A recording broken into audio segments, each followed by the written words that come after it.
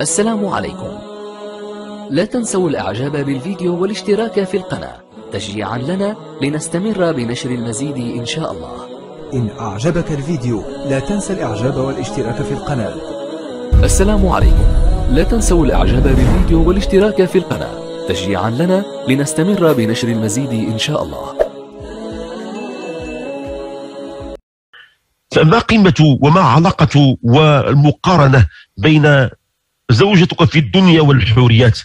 العلماء قالوا شتان بين من دخلت الجنة جزاء صبرها وعملها الصالح وبين من خلقت ليجاز بها صاحب العمل الصالح. فرق كبير.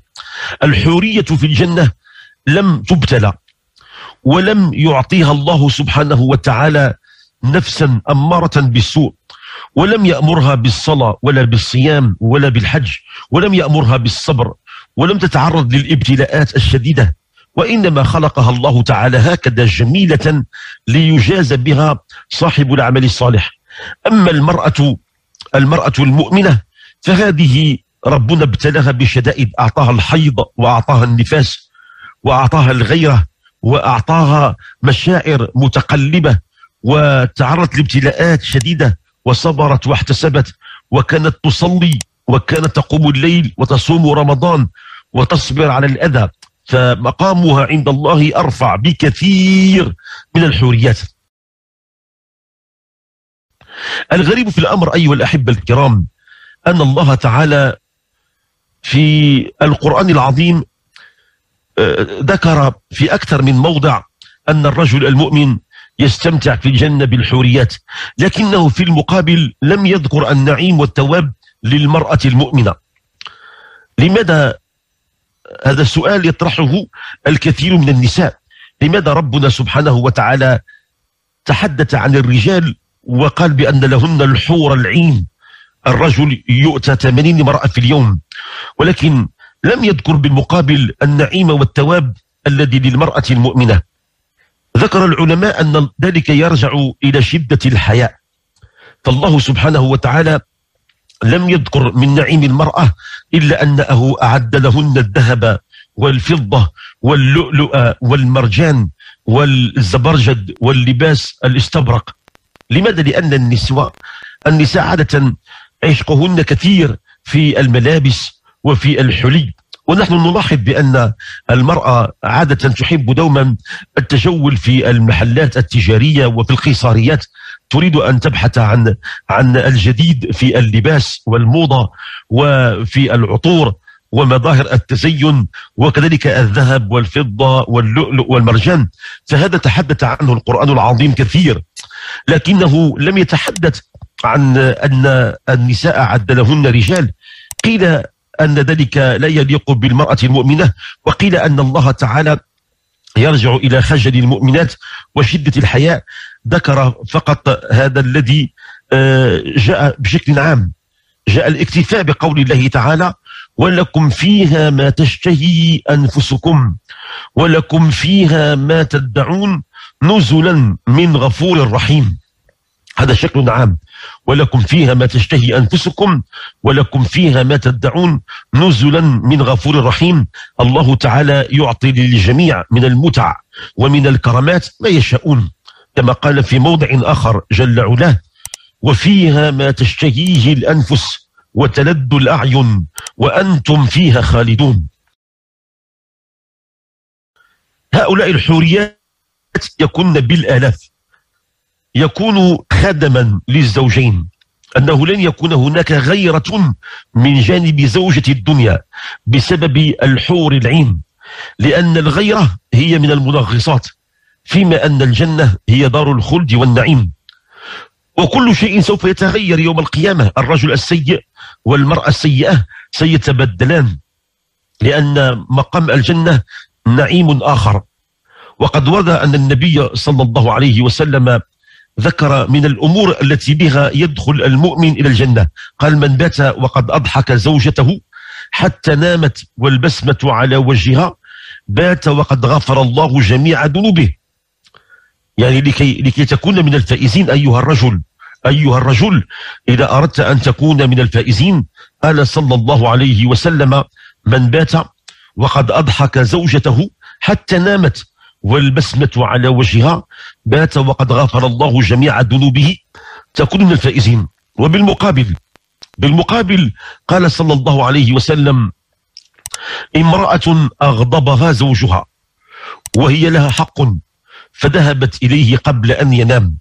وتقول والله لا تنام ولا أنام ولا يغمض لي جفن ولا يغمض لك جفن حتى ترضى عني وأرضى عنك.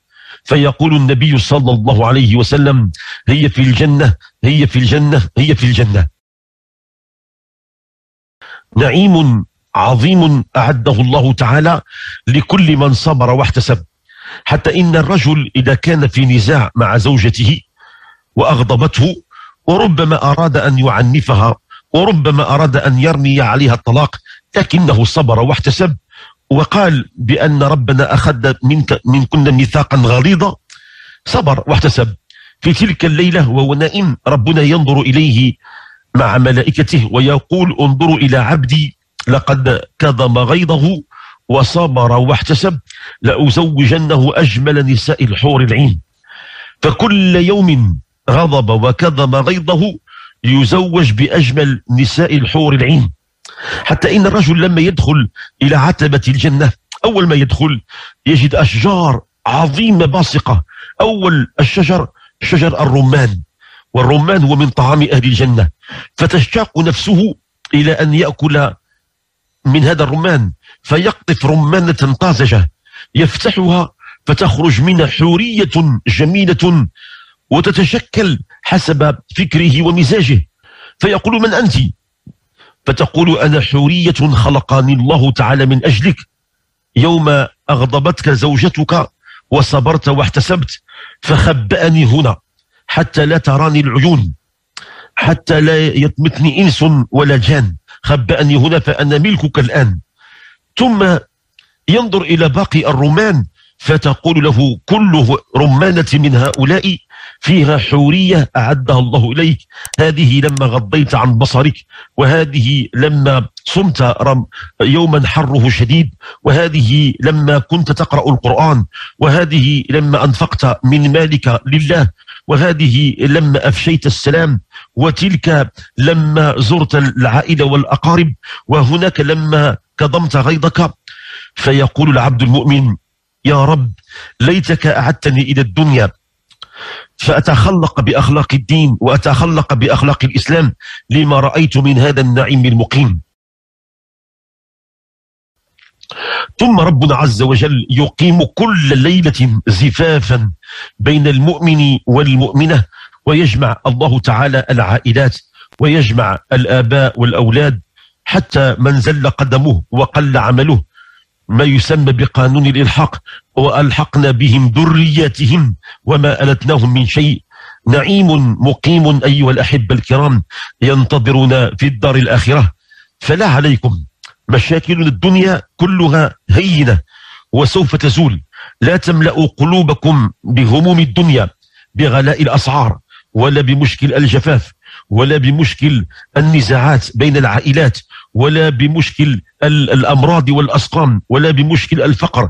كل هذه أشياء سوف تزول. إياكم أن تملأوا قلوبكم بهذه المشاكل.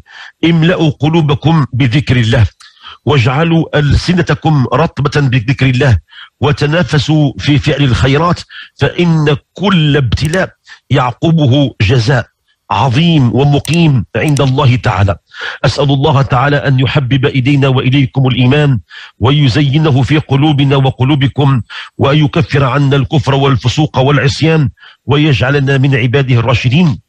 وبعد ذلك أيها الأحباب سوف نفسح خطوطنا الهاتفية لكي نستقبل مكالماتكم ونجيب عن تساؤلاتكم حول الدين والحياة والعقيدة وحول الحال والمآل. السلام عليكم. لا تنسوا الإعجاب بالفيديو والاشتراك في القناة. تشجيعا لنا لنستمر بنشر المزيد إن شاء الله.